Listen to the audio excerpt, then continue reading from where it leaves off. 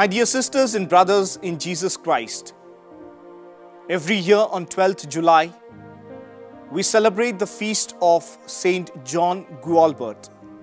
John Gualbert was born to noble parents around the year 980 and he received a noble upbringing.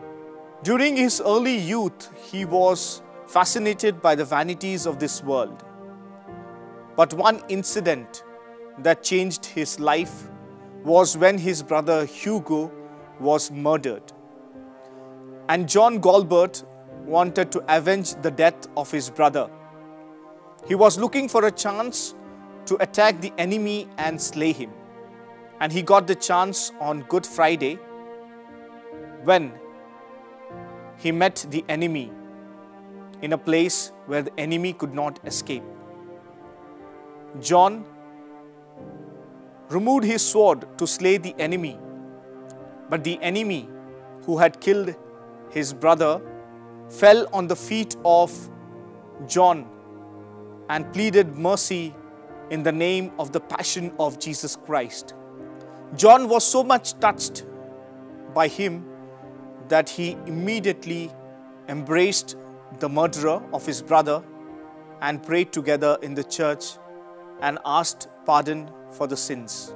He entered the order of Saint Benedict and there he lived as a monk for 21 years. He lived a simple lifestyle in solitude, silence, praying to the Lord. And after 21 years, he founded a monastery at Vallombrosa. After founding the monastery at Vallombrosa, he also had a rule for them.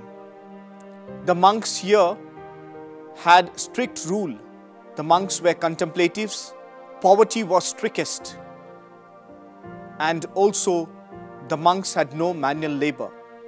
The manual labor in the monastery at Vallombrosa was done by lay people who had converted from their notorious lives.